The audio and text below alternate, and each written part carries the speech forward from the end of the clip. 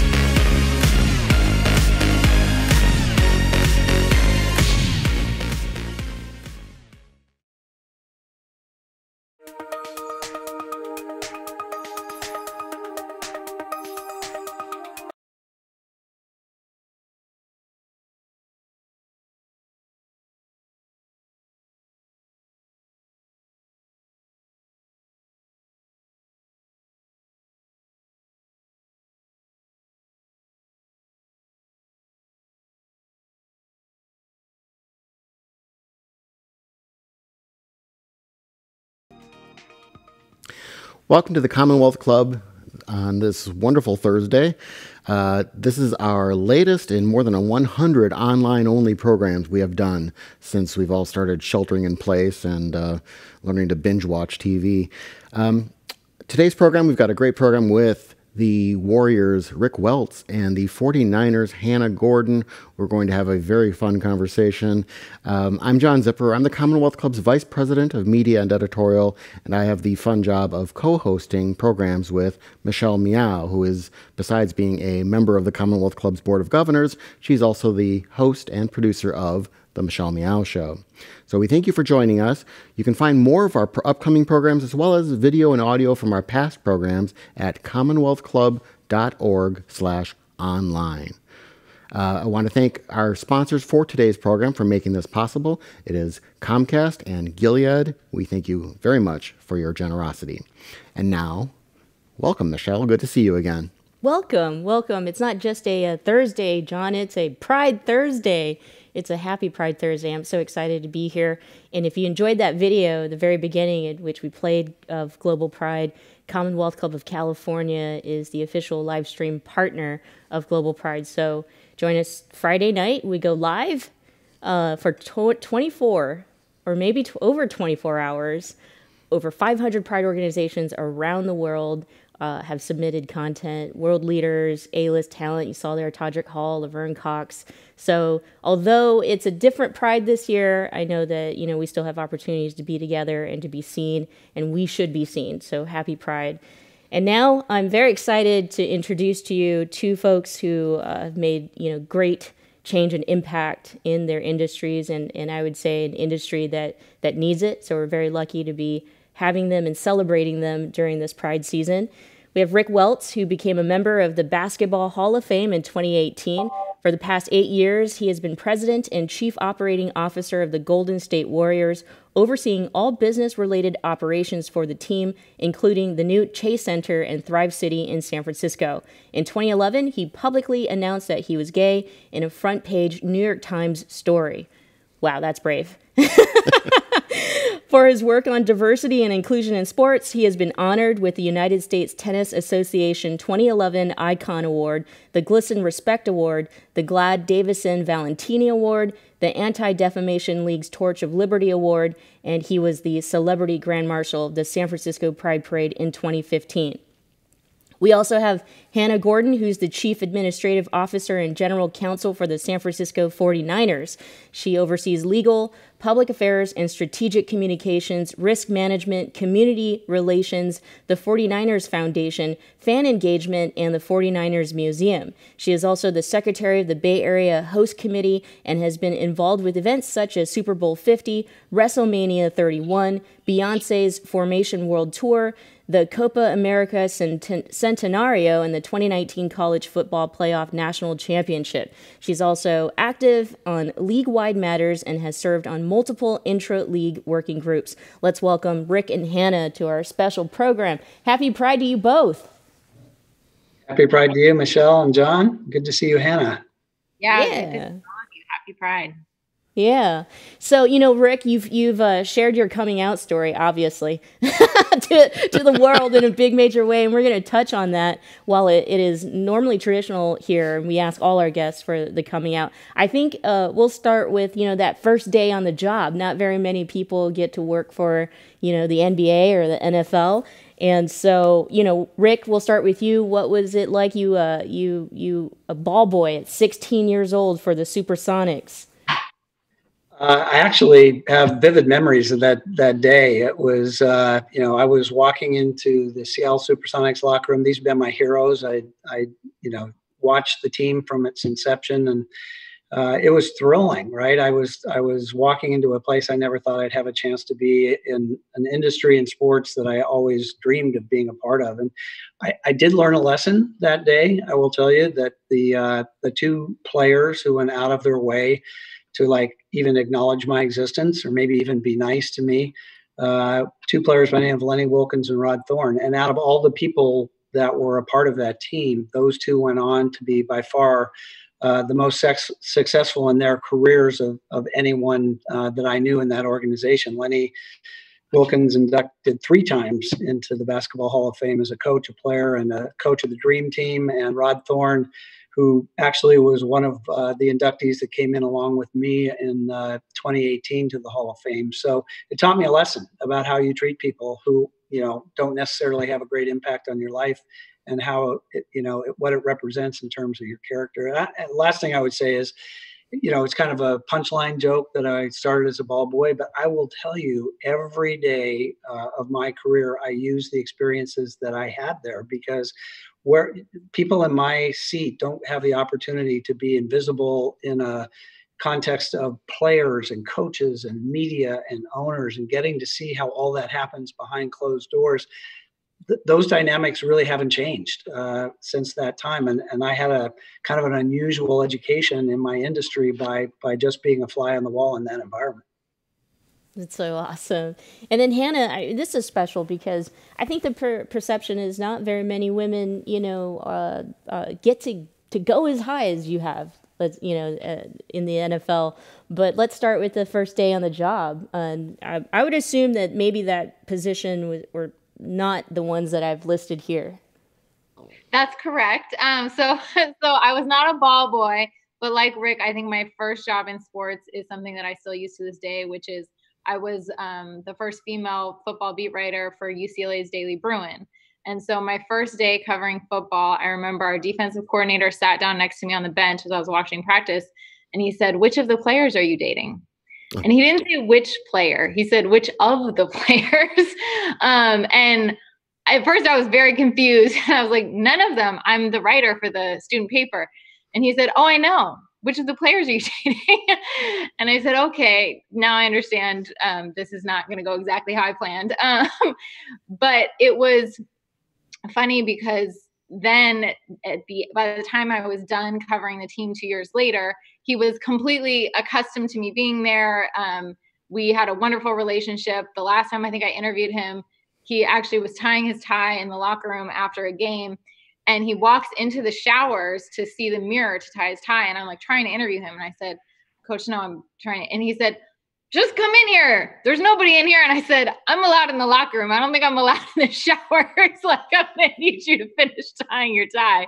Um, so that was my uh, my first day um, on the job, but it, it, was a wonderful job that still informs everything I do in terms of you learn to um, to do what you're doing, you learn to talk to people all the time, and at the end of the day, our jobs are all about people, especially in sports. And before each of you started in these positions, did you know you wanted to be in sports? And did you, you know, hope to have a career in, in professional sports, or was it just you were interested in sports and this was something you started doing? Hannah? Uh, Hannah? Oh, sorry. Oh, me first. Okay. Yeah, um, yeah, I actually I did um I had fallen in love with sports and I when I started at the paper it was my hope that that was going to be um something that I would end up liking and I fell in love with it and never left the industry. For me in, in my household sports was kind of what we were all interested in and and it was really the currency of communication between me and my dad that we went to games together that's when we had our alone time that's when we had our conversations and I I fell in love with the games that were going on. But I, I tell for me, it was a little bit different. I think i'm more was captivated by what I saw going on in the stands. When I saw, you know, in Seattle, when I saw 14,000 people who had a, absolutely nothing in common getting together to because of their mutual interest in this one thing and what it meant to our community. It was the first professional sports franchise in Seattle, and and to me, I think the connection of the importance we can play in the culture. Uh, of a community is really what drew me to the industry. That's so so awesome. Um, I'll stay with you, Rick, in this question, just because you brought up we brought up you know the fact that you started off as a ball uh, ball boy for the Supersonics. That was 1969, so the year of the Stonewall riots. And just wondering if you have any memories or recollections of that year, um, or what was happening, what was happening with the gay liberation movement you know, I was 16 years old, um, and I was at a place where I I knew I was different, but I hadn't reconciled with myself that this was going to be my sexual orientation forever. Um, so I would say I was interested, but in some ways I was disconnected. You know the Macklemore song that talks about uh, those people that have certain characteristics uh, as a stereotype. Um, I was guilty of that. Like I, the people that I saw who were involved in that movement, I I couldn't relate to. It didn't seem like me. It was, it was it, I wasn't like that. I didn't think so. That that was part. You know, my my love of sports didn't fit the stereotype. Things like that. So I I was always really interested whenever a story would come on or whenever I could hear the word gay, but I it just didn't feel like it was me yet. So I don't, you know, those are more impressions than memories, but that's kind of what I remember of that time. Um, I mean, talking about LGBTQ issues and sports, and especially professional sports, so often you're talking about, you know, for years we've always considered them to be completely separate worlds. And now it, it there's just been a, a steady increase in the number of of uh, we interviewed a college basketball coach who recently came out.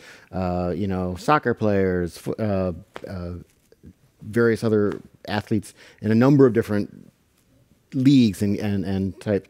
Um, do you think there's been a? I mean. It, both of you really from seeing the insides of how teams work and such has there been an attitude change within teams as there maybe has also in the wider society or has have those attitudes kind of always been there and, and just kind of waiting for this to break out?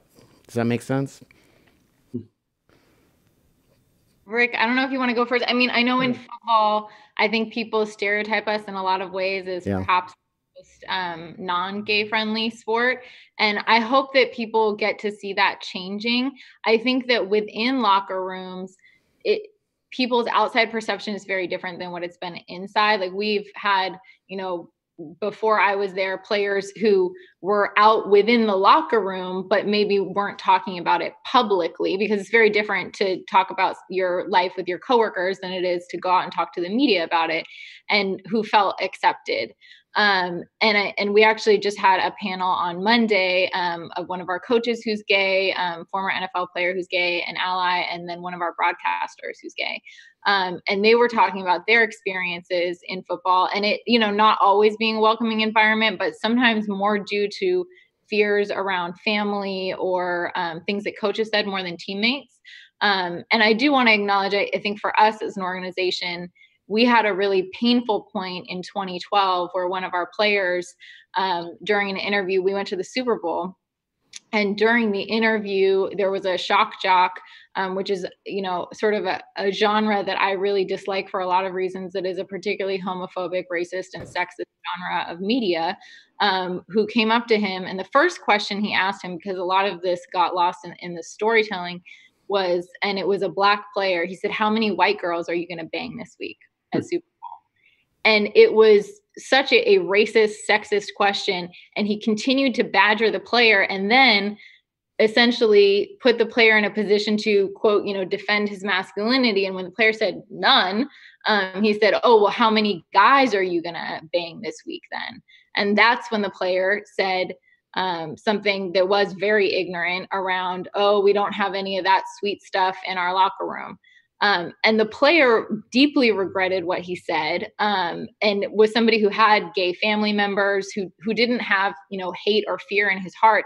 But i think it was really illuminating not only for him but for our whole team around having conversations about a how hurtful comments like that are um, and b that that saying something that's ignorant even if you don't think that you have hate in your heart what you are supporting is hate and is fear um, and so I think it was a real, it was a painful but really necessary lesson for all of us, um, and and something that certainly the young man learned a lot from. But it also, for me, the way that interview came a reminder of how intersectional um, all of these issues are, um, and that especially in the time that we're living in, I think it's important for us to keep in mind that you know sexism homophobia, racism, these are all interrelated um, concepts um, that are used to oppress people. And so we have such an opportunity when we all come together to address them um, collectively, understanding our differences, but collectively. Rick. Uh, you know, I, I, think first thing is the obvious that men's professional sports still has a long way to go. Uh, and we have made some progress. I think I think we've set the right tone in terms of what our league has done. I, am proud of what the NBA has done and the stands that they've taken. Uh, you know, I never imagined uh, in 2011 that I would get to ride in the New York City Gay Pride Parade in an NBA float with the commissioner uh, of the National Basketball Association. That's not something I would have envisioned, but I think from the top of the organization, uh, we've kind of set the ground rules on what's acceptable and what's not acceptable and what we believe in. It's another, you know, it's always a question I get asked. I'm sure Hannah does too. Like, you know, when's the next athlete coming out? And it's such a complicated uh, question because, you know, it, it, we just we forget that we're dealing with 20 somethings. Uh, young people actually with limited life experience because they've been such an incredible athlete from the time they've stepped on a field for the first time that their experience is different than most of us. Um, in our league, you have about four years on average to uh, earn a living in the one thing that you've been better at than than anything else, and the one only thing you focused on focused on as a profession. Uh, that's your limited earning time. Uh, and the players that I talk to, you know, in asking like what the boundaries are here, um, I hear more that there's there is not concern that their teammates wouldn't accept them or their organizations wouldn't accept them. Uh, but what we do is a, is to create a winning atmosphere is an incredibly delicate balance. And you know the best thoughts that I've heard from players are, you know, I can understand why a player would not want to bring this overwhelming attention on him into that locker room at a time where that chemistry is so difficult to achieve. And it just it could be just potentially very very disruptive to what the player wants to accomplish as a teammate uh, and, and, being part of a winning culture. So you know i i, I think it could happen tomorrow uh, in our league but it, it hasn't happened since jason collins came out. And it's not because we don't have gay players in our league. It's just because they haven't reached a point where they feel personally the comfort that taking that step is uh, what they want to do.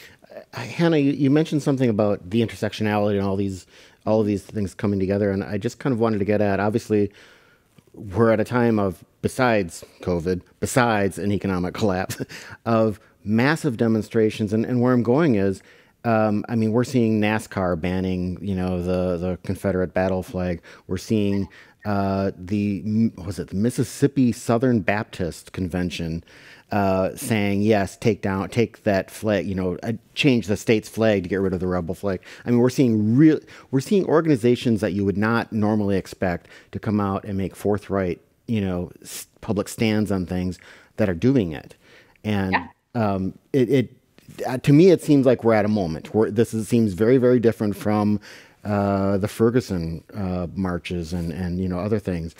From within a, a, you know a large organization and large league, do you see that as well?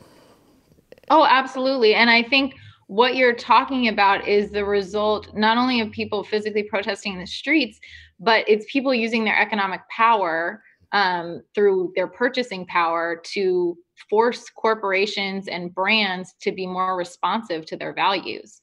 Um, and so, and I think that that's really positive. I think that's exciting. And I think that young people are demanding that of us.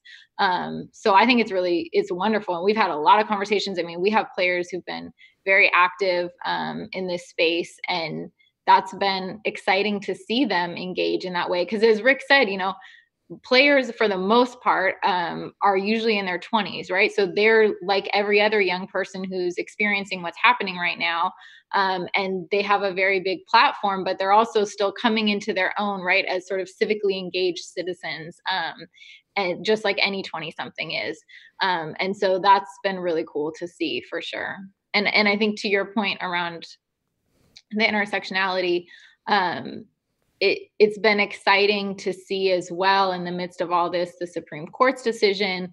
Um, and I think that there is, I certainly hope that for you know straight women like me that we understand that with a decision like that the whole purpose is like title 7 of the civil rights act applying you know no discrimination on the basis of sex to individuals who are transgender on the basis of sexual orientation gender expression that hopefully we can understand that my experience as a woman in sports is necessarily related to the experience of a gay man in sports is is related to the experience of a gay woman in sports is related to a transgender person's experience because all of it is around how do we allow people to express who they are and how do we how does the system right attempt to control our bodies control who we have sex with control um, as a result our mind and our and our spirit and our hearts. Um, and so i think that that this is a really exciting time um, and i'm glad that we're living in it even if it's a little bit of a difficult time um, for a lot of reasons. This is such a great conversation. If you're joining us live uh, get engaged. Ask us questions. John's going to be monitoring the chat. So um, send in your questions or your comments and we'll get them to rick and hannah.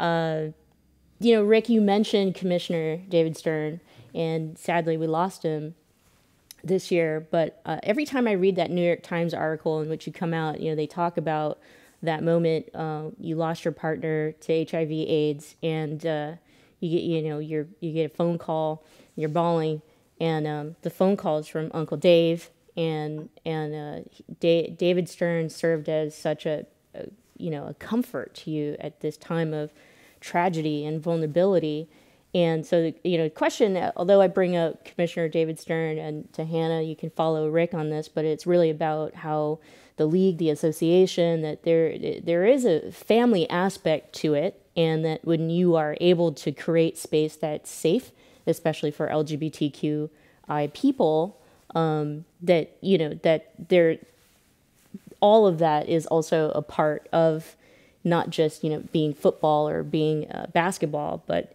so we'll start with Rick, you know, just telling the story, talking about that story, being a part of a, a family, and ha- the importance of creating space that is safe for everyone. Well, for me, uh, I lost my partner in 1994 in New York City, um, and I was not out at the time at the NBA. I, my choice. I mean, I had really constructed, I would say, some walls around me that people respected, I was never asked if I was gay, but I never, you know, and I never tried to take a female to a to a party at the NBA to try to throw somebody off the track. But I, but I, but I wasn't out. And uh, you know, uh, Arnie played tennis on a Saturday, um, and when in came, I came home actually from working for a little while and found him unresponsive on the bed and got him to NYU hospital, and he died the following Wednesday. It happened that fast. Um, that Monday morning, I had to go into the office. There was nobody at the office I could talk to about this. So I went in. Uh, Stern walked by my office. How you doing? I said, well, you know, I, I've got uh, somebody I'm really responsible for who's in the hospital and going to need to take a little time. And he nodded and said, of course, go do what you need to do. Um, you know, we we were both from Seattle, Washington, so I I took uh, Arnie's ashes back to Seattle. Uh, I wanted to have a memorial service there for friends and family. Uh, I ran one ad back when newspapers were the thing in the in the local Seattle paper, suggesting if somebody wanted to donate to a uh, to a scholarship fund in Arnie's name, uh, here's how to do it. And on the way back from that, back to go back to New York, I picked up a stack of envelopes that were in a post office box, and you know, very gratifying to see people who wanted to reach out and recognize. I got to one envelope that that said Scarsdale, New York. Like, how would anybody in Scarsdale, New York, have any idea about that this even happened? And I opened up the the envelope, and it was a ten thousand dollar check from David and Diane Stern. No explanation. So you know, when I got back in the office, I felt compelled to to go back uh, and acknowledge it. And I kind of walked in, and we were so stupid. I wish I could recreate them. It was kind of like, you know, I wanted to think, yeah, yeah, yeah, yeah, okay, yeah, yeah, yeah, guy thing, guy thing, guy. hey, you know, on to the next thing. Uh, but it was his way. It was his way of saying, I know, I know what happened to you. Um, it's okay. I'm here to support you. But we never had the conversation you know, until years and years later. Um, and and I still to this day have no idea how he knew any of that had happened. So uh, it told me everything I needed to know about the organization I was working in and and the man who was leading it. Thank you for sharing. And so, um, that's just so special. Thanks for sharing that with us today. Uh, so Hannah, and as I understand it, you uh, started the first Pride for the San Francisco 49ers and so it kind of you know dovetails Rick's story about creating being a part of a family and knowing the importance of something like pride. So you talk a little bit about that. Yeah, it's really hard to follow Rick. I'm gonna say first, um, and also, so I remember that New York Times story. Um, 2011 isn't that long ago, but we did still get physical papers at the NFL league offices, which is where I was working when it came out. And I remember I read that story and I just thought, wow, Rick Welts is like the most amazing man and executive. And I and I actually thought I was like, I hope I would get to meet him someday. um, so it's been extremely gratifying um, to to get to um, meet Rick a few times now that we're both in the Bay Area. Um, and it just is somebody I admire so much. And and I mentioned uh, earlier that we did this um, 49ers Pride, which is our our fan platform for the LGBTQ community and allies.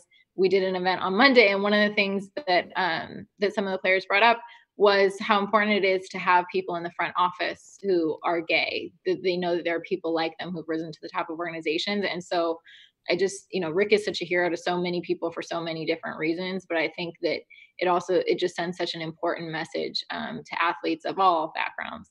Um, and and also I wanted to touch just on sort of the the historic aspect, you know, because we talked about Stonewall, which I was not around for, but I grew up in Oakland in the Bay Area, and as we're in this pandemic, um, my parents were commenting like i wonder how this is sort of hitting my niece and nephew and it made me reflect on you know growing up in the bay area in the late 80s and early 1990s in my elementary school three of our elementary school teachers died of aids wow. all three were gay men um, all two of whom were out um, and and and were beloved like they were you know two of the most beloved teachers in our elementary school um, and so as I was thinking about that and just thinking about their memories and also, you know, thinking about as a child, you know, there are grown-ups who are dying and that's horrible. Um, as an adult, realizing how young they actually were, because as a kid, age is is so relative. Um, it is even more heartbreaking than it was then. Um, and so I think it, you know, I noticed that like the program is in partnership with AIDS 2020, and I think that's really wonderful because I think it's also important that we don't forget all of these aspects of our history um, and all the people that we lost. Um, and so when you were speaking about family and um, and like how we create those environments, I do think you know for us to be successful as sports teams, as organizations, people have to have psychological safety right? They have to feel that it's a, not just a family but a functional family because um, you know plenty of people come from dysfunctional families um, and that's ideally not what you want in a sports team. Um, and so that means we do people need to feel accepted. They need to feel like they can be their whole selves at work um, whether they're an athlete or a non-athlete. Um, and and ideally you know it, at our team we our sort of slogan for the business side is that we want to go one step further to make somebody feel a part of the 49ers family. And so as I thought about like who we are, um, it's so critical that our fans feel that they are wholly and completely accepted by us.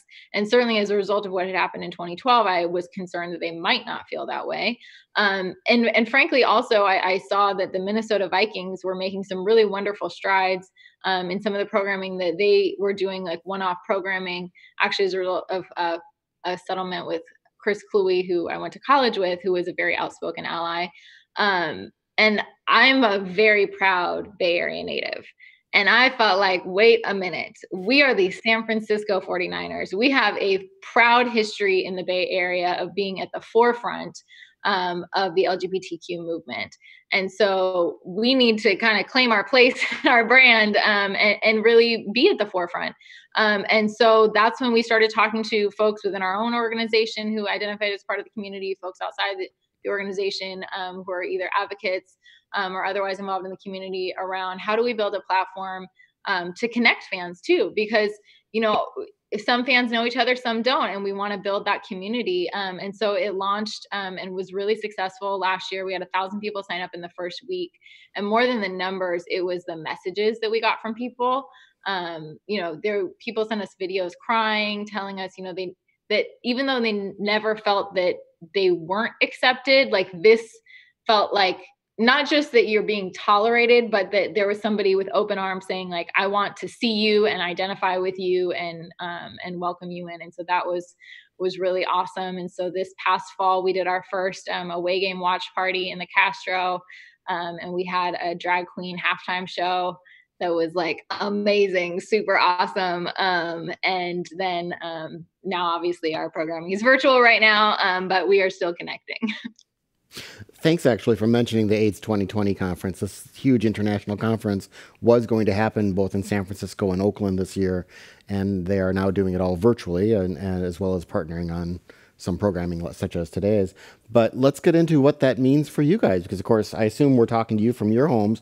What what are your work days like now, and how are your teams as organizations and as athletes? What are they all doing right now? What are they looking forward to do? What's different for them, or what can they what can they do? Unless everyone's staying at your houses. Rick, you first. Sure. Uh, I really had no idea what to expect. I guess none of us did, and it's so different than what um, what I thought it would be. We have about 550 full-time employees, uh, counting Chase Center and the Warriors uh, combined. And uh, you know, the day that we met, uh, a day before the shelter-in-place order came, and we told everyone that we're going to be working at home for a while. Uh, I got to tell you, I I was the biggest skeptic in terms of being able to disperse 500 people and actually be able to run uh, our business. I am a total convert. I'm so amazed at how well this works. I don't understand how I can be twice as busy as I've ever been in my entire life. Um, I'm probably also accomplishing next to nothing, but every day is filled doing just what we're doing now. We're we're talking to, to people inside the organization. We're having our meetings. We're trying to figure out how we're going to get through all this. We're figuring out what the world's going to look like in the future. Um, it's hard for the players because uh, our practice facility which is part of chase center was closed uh, there was no organized way to work out. Uh, Steph Curry actually had to build a basketball goal in his driveway, which I would have uh, really enjoyed seeing because I'm not sure he's the most handy with a tool belt. Uh, but uh, everyone had to kind of figure out what to do on their own. We have been now reopened for a few weeks with incredible protocols, limited number of you know players that could be in our practice facility at any time. No interaction between the players. They all have their own ball their own equipment. Everything gets cleaned between every timed uh, interval that you have to work out. Very limited staff. Uh, we're going to be moving to a, a little more uh, basketball activity. We're not one of the 22 NBA teams that's going to Orlando to finish the season. Uh, as I said, I think before we started, we picked a really good year to suck uh, after five straight trips to the finals. So uh, we're we're you know every everybody is focused. It's working incredibly well. I don't think it's a substitute in our industry for the face-to-face contact and creativity that comes from that, and just the the the relationship building that we get through having direct interaction with people. So I, I don't see it as a substitute, but it'll change the way we work forever. I'm I'm convinced. There's there's a lot of things that we did out of necessity here that will now become much more standard uh, in terms of how we run the business. Hannah. Yeah. Um, well, first, uh, let me apologize because I forgot to close the windows before we started because it's warm here and I forgot that I live in a flight path. So if you like occasionally planes flying overhead and somebody knocked on the door while Rick was answering a question, I was like, oh, this is the problem with working from home. Um, oh, there goes a plane right now. Um, so I would say, you know, like Rick said, I think uh, it has probably worked a lot better than I thought it was going to, which is good because it also lasted a lot longer than I thought it was going to. I think for those of us who are extroverts, it's very challenging. Um, but every introvert I know absolutely loves it, thinks it's the best thing ever. um, and I think it has changed the way that we work. But as Rick said, I don't think, especially obviously in our business, uh, it, it certainly does not replace in person contact. And I think, you know, we were talking beforehand about pride and like, what I love about Pride is you are out there with other human beings. Um, and that's what I love about sports too. Um, so I'll be very happy um, when it all returns. I wonder what were your Pride plans before uh, COVID? I mean, did you did you have a plan to ride on a float this year or?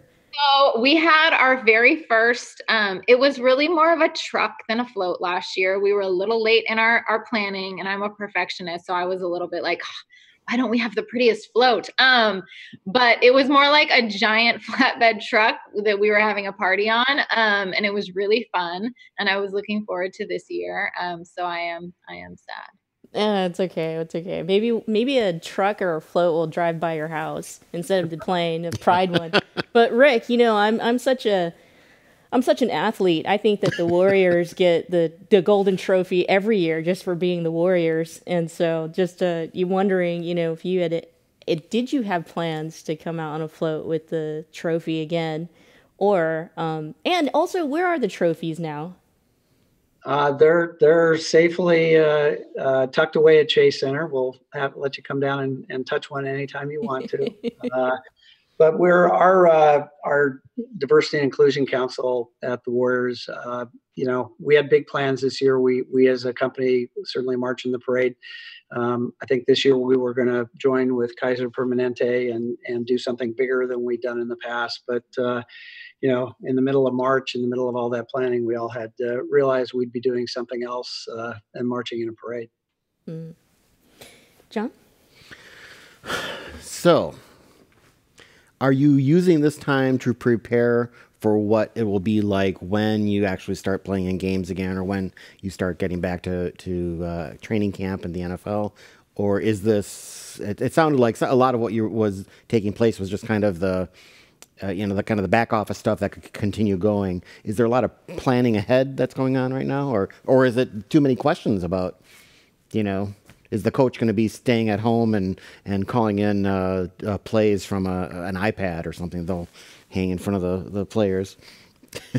John's that is a new too. idea I've definitely not heard yet. That would be great. very creative. I like I like that you're thinking outside the box.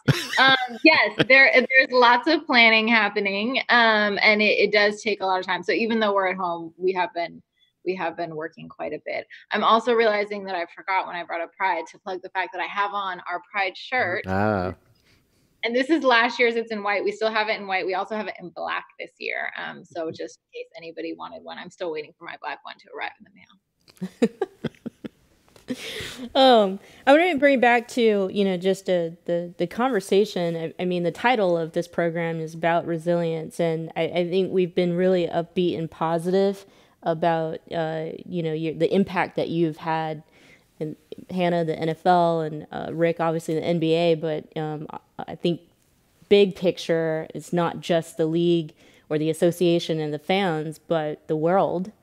You know, and when Katie Sowers came out, uh, or not came out, but it was you know she got the job and became the first out uh, lesbian coach in the NFL. Was such a big deal, even for a non sports person like myself, that yes, every single game thereafter, I was very much like, go Niners! I didn't even know what happens when they score a point, it's a touchdown.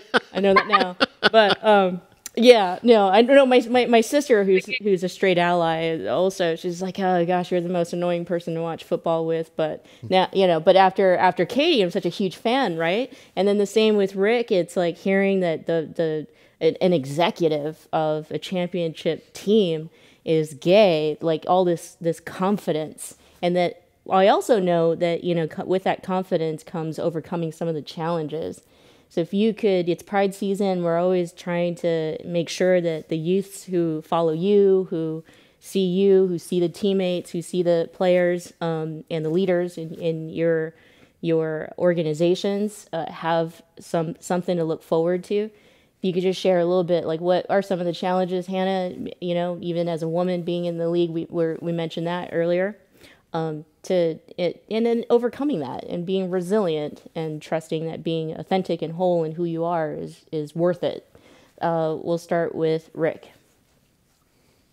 Well, uh, you know, I like to tell a story. Like three years ago this month, uh, my now husband uh, Todd and I got invited to uh, the White House for Obama's last Pride celebration at the White House, uh, was really thrilling uh, to be a part of. Um, and you know, the atmosphere was incredibly, you know, upbeat and celebrating the accomplishments over his administration. But he gave a speech that I'll never forget that day because it was it was prophetic. Um, you know, he he was much more kind of somber in tone, I thought, and and and his message was, you know, look at all the things that have been accomplished uh, in the last eight years, but uh, please don't think this is over. Like, please don't think this has been a mission accomplished because as quickly as we have progressed, that progress could be reversed just as quickly.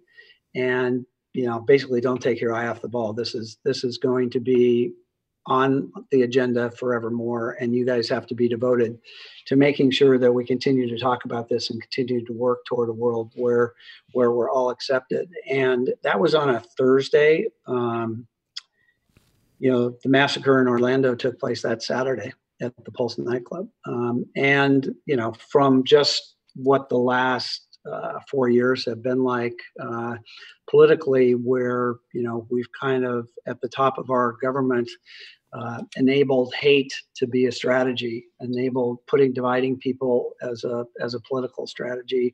Uh, I think of his words all the time. You know, what little role I can play maybe in all that and the challenge is I, I guess I knew what I signed up for when I did what I did. And I hear from, as I'm sure Hannah does, a lot of people in our industry who uh, are, do not yet feel comfortable coming out, but would like to talk to somebody who can kind of understand their stories. And you know that that's helped me. Um, I, am honored that I get to do that, um, but it's actually helped me a little bit. We I don't know if you remember we as the NBA awarded Charlotte uh, an All Star game a few years ago, and shortly thereafter, uh, uh, a bill was passed in North Carolina called HB2, which was a very discriminatory bill uh, talking about gender assignment in restrooms, and it was it was just blatantly uh, a terrible, terrible law. And the NBA had to decide what to do. Like, do we go to Charlotte and play an All Star game?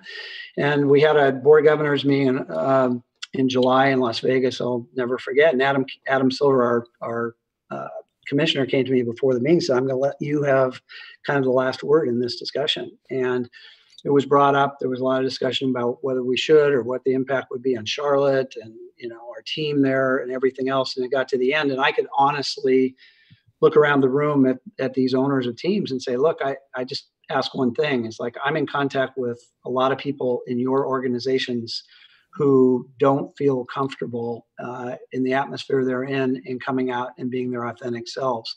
And I'd like you to think about those people when you're deciding what to do here because they're watching you. And what you do here uh, will make a statement to them about what kind of organization you were. And, you know, fast forward then that voted not to go to Charlotte. Uh, the law was changed. We ended up going to Charlotte and became kind of a celebration of of diversity uh, that we built around that All Star game. So you know, it's enabled me to to have some kind of impact. Uh, but it's a time to remember. I love what Hannah says. It's also really a time to remember those we've lost.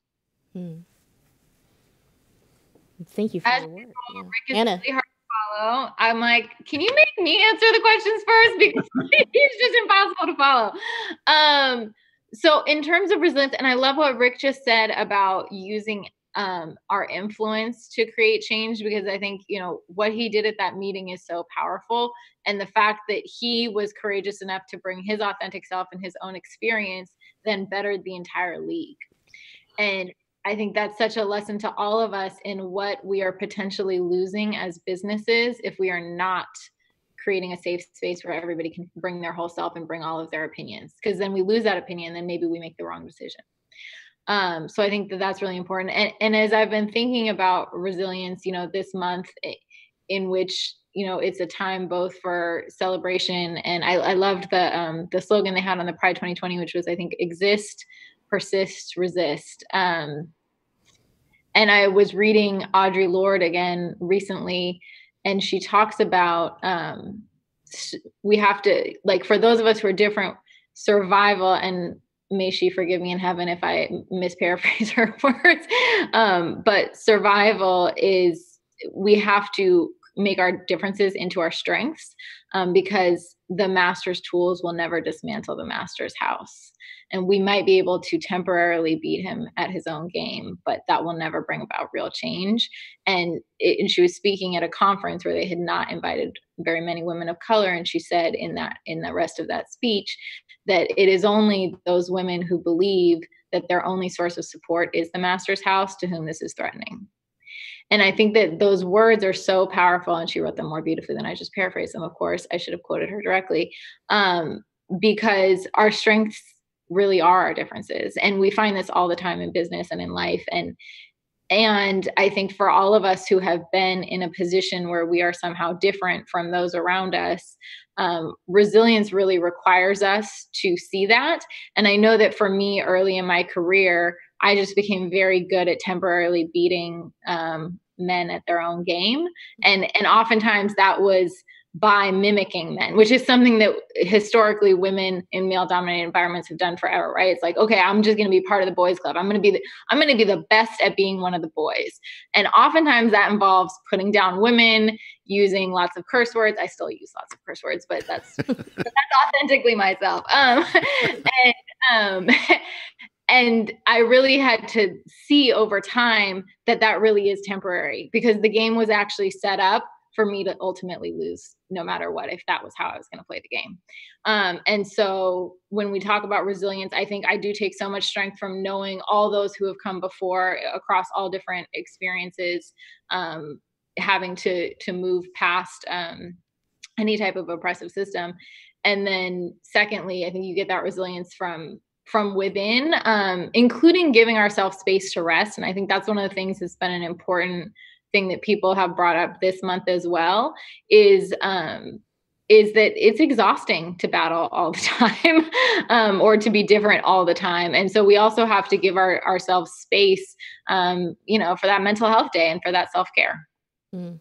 uh, okay hannah we'll give you a question that's first before before rick comes and gives one yeah, um, so we, I mean, it, it, great strides have been made. Are there specific changes, whether it's in rules or new initiatives, you'd like to see in the major league sports, whether it's MLB, NHL, NFL, uh, NBA? I mean, specific things that you would like to see them to do to be either more supportive or more welcoming, or to to you know lift discrimination, you know, situations and, and structural problems. Well, I think there's probably, when we talk about overall structural issues, how do we create a more diverse and inclusive work environment? What are the policies that we need to change? I think we saw last month um, there were some important improvements to the Rooney Rule um, to require diverse slate interviewing um, at the uh, sort of at the C level of the entire organization. I think things like that are good. Mm-hmm. Um, I do think that you know there's there's kind of two pieces right that are always moving, which is the policy side and then um, culture. And I think what Rick t- touched on early in the conversation that was really important is that for a lot of people, it's not just what's happening in our organizations, it's how is the Twitter sphere going to react to this, right? How, how are these spaces where fans and other people are attacking people and, and using derogatory language? How do we change that in our culture? And I think, you know, part of what you're asking, it, it ties to um, the challenges of systemic change, right? Because systems are everywhere and then we all participate in them and we all participate in recreating them and so how do we look at those um, both from a policy perspective but also from our individual behavior because i think sometimes when we focus just on policy people don't take responsibility for their individual behavior enough. Um, so i mean i would certainly what I, I, would love to see every nfl team have an lgbtq platform for their fans as well as a you know internal engagement group or a diversity council or something of that nature. Um, but i'd also i guess what i'd like to see isn't just policy change. What i'd really like to see is more different um, faces and experiences at every level um, of the organizations. And, and we've certainly made progress there but we have a long way to go. Thank you how about you rick uh, you know, on the business side, I'm always struck when we bring our our 30 teams together, and I look out in the audience and see still see so many white males on the business side. It's just it's it's kind of a jarring image. Uh, you know, I I think um, I if I if I was commissioner, I mean, I don't think legislation for our league works as well as as sharing best practices. We kind of have a the NBA is a really interesting culture. We have a 35 person group who does nothing but collect best practices from the team, share them with all the teams. Um, we're 100% transparent on every bit of financial data. I know every dollar the Los Angeles Lakers are making in sponsorship and television and ticket sales. Um, it's it's definitely that culture, and where where we can reward good behavior, the league has to lead. You know, I'm on the league's uh, global uh, diversity and inclusion council that covers all our offices all over the world. Uh, you know, I think yes, just as I want every team to decide that uh, having their own D&I council is a is a really smart thing for them to do. Um, and I'd like a lot. I, am not embarrassed to say I would like a lot of it to be that they finally under the teams completely embrace the idea that this is not only like the right thing to do, this is good for business. Like, you know, having having a bunch of people that look like me sitting around a table making decisions uh, isn't going to yield as good an outcome as people uh, with background, gender, uh, diversity, racial diversity, who who can come to the table with the, the, same life experiences that our fans have, and can better express uh, and get us to a place where where where we're making the, a better decision. It's good for business. It's you know I'm not going to apologize for that. Yeah, if you, if the only reason you can get your head around it is because you think it's the right thing to do, okay, that's fine. But but come around we'll really have made progress when I think our organizations realize that that it's a great business strategy in addition to being the right thing to do. So um, I, I, think we we're con- we continue to make real progress. We just have to keep the conversation going. One of the great things about what's happened the last four weeks is the amount of storytelling uh, on life experience that's gone on in our organizations. Uh, yes, a lot of it focused on Black employees, but not all of it. Like I, you know, I, I, told my story at a town hall. Everybody has had a forum and opportunity to today. You know, every day we do one one of our executives gets to author a daily update that's an essay about whatever they're thinking about that day and their own life experience, and it just connects people in a way that is so powerful. Like I know things about our employees right now that I never would have known if if George Floyd hadn't been murdered, right? And you know, I, I, think I've learned a lot from that about how we should move forward and and tell our stories. And it breaks down every barrier. It breaks down every concern when you actually know why people are the way they are and why they think the way they are. And it, it's a level of understanding that we just got to keep up. You know, it's terrible that it happened the way it happened, but I think it's one of the blessings that'll come out of this in the long run. Wow, that was so great, both of you. Great answers. I would think that if uh, the commissioner seat was open, um, you know, for your respective organizations, and both of you made that position, the uh, NBA, the NFL would would be very much safer and and much more inclusive. Uh, so I hope that that one day that you know I can call you, you know, Commissioner Gordon or Commissioner Welts. Um, but that's the that's the hope that you both give us, right? That a woman can be in that seat, a gay man can be in that seat, a person of color. Um, we've got about 11 minutes left, so if you you're dying to ask Rick or Hannah a question or you want to comment, uh, now's your chance. Otherwise, I'm hogging the whole 11 minutes that I have with these two wonderful human beings. Um, uh, so Pride is 50 years old. Yeah, the first Pride was 50 years ago, and and it's you know there's conflicting reports. New York says they were the first one. L.A. says they were the first one. San Francisco says they were the first one. Well, here I'll be the boss. All of you were the first, and it was important that you all were the first because it happened you know because of the Stonewall riots. But um, hearing you talk, like even just in your careers and looking back at history and LGBTQ rights and its history, a lot has changed. Um, but had, Hannah had said, you know, there's still a whole lot of work that needs to be to be done. If you could uh, reflect on, um, you know, what the what maybe the near future, and this is a weird question because we're in a you know we're experiencing a pandemic. Like we don't know what tomorrow looks like. We don't know what next year looks like. Uh, but for folks who are at home and not with community, especially in the month of June, you know, um, just your perspective of like, you know, it's going to be okay. Like from my perspective, it's it's absolutely going to be okay. We're going to do this Pride season virtually. We're here together, connected virtually, and then next year we're probably going to be sitting six feet apart or something like that. Uh, but but that's okay too because I could you know see still see and hear you. Um, so yeah, the floor is back to both of you. Uh, kind of some perspective on getting through this pandemic, uh, 50 years of pride, the next few years, and and celebrating each other.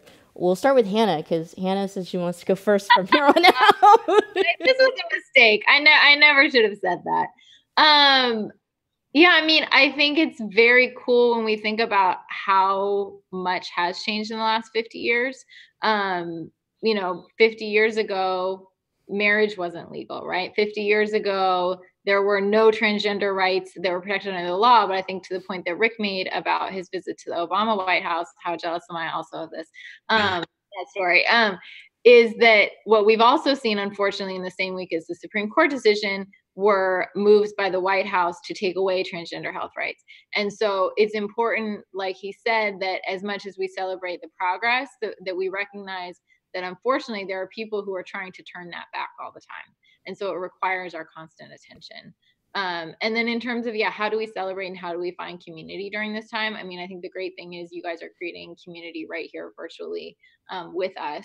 Um, and so and right now that's kind of all we can do, right? Um, and I, I, hope that by next year we don't have to be six feet apart. But this is the thing about life is unpredictable, um, and there's so much that we can't know. And I think you know if I've learned anything during the last three months, it's to be so grateful for all the things that I was taking for granted. I took for granted that I got to hug people and shake their hands, and I don't take that for granted anymore. Um, so and, and I feel the same way about about sports. Like I I took for granted how joyful it is to be in a stadium full of screaming fans um, and that it was totally worth any traffic or any line that you had to wait in. Um, and I will never take that for granted again.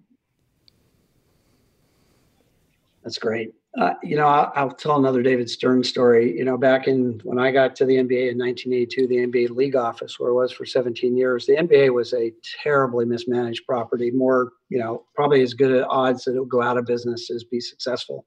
And uh, Stern always said, you know, we can't we just can't dwell on this moment. If we do that, we're, we're going to be nothing but discouraged and and we won't get to the right place. We got to just focus on what what the future can be and and spend every day thinking about if we if we believe in what that future can be then every decision we're going to make along the way is going to be focused on that not on trying to solve an impossible problem that we have right now and i think you know that focus on the future i guess that's what hannah and i are trained to do like in our in our jobs. It never we never expected it would look like this. But I think there is hope and, and to stay engaged on thinking about that future and you know what steps have to happen to get us there is in some ways it's exhilarating it, it opens up a lot of creativity uh, channels a lot of energy it keeps you connected with the people that are important in your lives and we have to do all those things i think to get through the crisis that we're going through right now okay rick so you find yourself, say, at any time now, you you're at another Pride celebration at the White House. President Trump comes over to you. Mike Pence is with him. They're glad handing everyone. You get your chance to say whatever you want to him. What would you say to him? Well, uh, I wouldn't be there. As you know, we have been uh, specifically disinvited from the White House twice after winning championships because uh, the current administration didn't want our team uh, in the White House. So uh, I wouldn't. I wouldn't be there. They, they, probably didn't want you there because they're so unused to winning. Um, you would intimidate them. John, we're going to be off the air now. Just kidding. Hannah. Oh, did you did you the, is there a follow up to Hannah? Sure, Hannah, you're at the White House. What would you? I think you've got something to say to him. No, I I don't know what I would do in that situation. I can't imagine that I would actually be there, um, sort of like Rick. So um, I think it would be hard for me. I mean, it's honestly, it's been really hard for the last four years. Um, just to, when we talk about, you know, having respect for other people and and I certainly I, I deeply respect the office of the president and I am very passionate about America and American democracy. And so uh, it, it's very difficult for me. I think you also pose this as a hypothetical in which they were having a pride celebration there and and that sounds a little far fetched in this little fantasy that you created. Um, and so um, I'm gonna I'm gonna have to really think about the, this far fetched and hypothetical world created. There's a lot for us to deal with in in this real world that we're living in. Um, so yeah, I'll, right. I'll Okay. Well, before we go, we do have a question from the audience, and this is for you, Rick Welts. It says, Rick Welts, I'm a proud and loyal Warriors fan. Would you mind sharing what you and the Warriors are thinking about for the NBA 2020 draft? oh, my goodness. So just between you and us and all our really? viewers, yes. Well, uh, as I mentioned before, uh, we have the worst record in the NBA this year. We won 15 games when the season went on hiatus. So we will have an extremely high draft pick uh, this year, somewhere between one and five. So uh, it's going to be interesting. It's it's uh, it's not a sure thing who the best player out there is. We have to go through the lottery to see where we pick, and there's always the possibility that you can use that as an asset to try to acquire uh, a player that could help your team right away. We think we have about a three-year window with Steph Curry, Klay Thompson, and Draymond Green at their peak uh, to compete for championships right now. So we're going to want we're going to want to either pick a player or get a player in some sort of deal that's going to be able to to help us right now. I think. Hannah, there's going to be a lot of high expectations for the 49ers this But year. we're going to the Super Bowl again. That's exactly Yeah. it. What, what can you tell fans to look for, for this year? Oh my God, what can you not look forward to after last year? That was just a magical season. I think we're all just looking forward to getting back to the field um, and watching some football. Like, we had a really good time with draft. Um, it was fun to see everybody in their home offices um, and see, you know, some of the new players who are joining the team. But um, a lot more of what you saw last year is, I think, what you can look forward to this year. That's so awesome. So last, very last question. There's three minutes left, and it's an easy question, but um, it's very easy to be. So after that, I know the hypothetical question at the White House. um, well, you know, hey, it's so easy to be a super Bay Area sports fan, and it's because of the community that we've built and the leadership that we're seeing here, you know, on the program. And so, leave some last words for the super fans out there. Um, uh, that some some words of encouragement and hope. We're all going to be together again because I think we all miss the camaraderie, the togetherness, the family appeal of what sports and our communities can do together. We'll start with Hannah. I got you.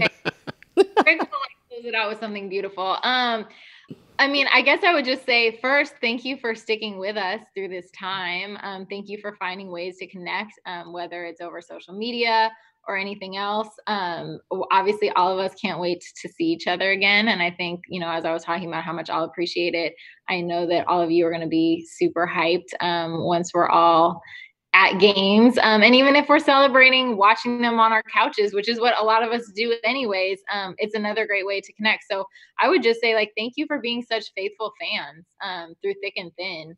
And, um, and we hope to do you proud because you deserve it. Well said, Hannah. So, I, you know, I, I hope people look at our organizations and say, like, in this moment, we rose to the occasion, that we did things that we could do to try to contribute to the community at a really crucial time. Um, and we can't wait to get back. You know, I, I think sports has always been uh, an important place to have conversations in our society. It, it is right now. Uh, and we want to make sure that we're part of the recovery and getting back to a normalcy that will make all of our lives better in so many ways. So sports is part of that. We can play a role in that. We're not the most important thing in the world, but, but we're additive to the culture of a community. And uh, we can't wait till we can uh, open the doors of Chase Center uh, and welcome our fans back. That's awesome. Well, thank you to Rick Welts of the Warriors and Hannah Gordon of San Francisco 49ers. Uh, thank you to all of you for joining us. Thank you to the Commonwealth Club and AIDS 2020 for putting the talk together. Don't forget, it is Pride Week, and there are a lot of celebrations happening. It is still Pride. It's still so important for us to be visible and for being together, even if it's virtually. So join us for Global Pride. Uh, we'll be here tomorrow night, Friday at 10 o'clock, which is 5 p.m. on the 27th New Zealand time. We go hour by hour around the world featuring pride organizations from around the world, world speakers, talent. You can join us at Todrick Hall's YouTube channel. We'll be streaming to his three and a half million fans and more. Um, so we'll see you there. Happy Pride, and we'll talk to you all soon.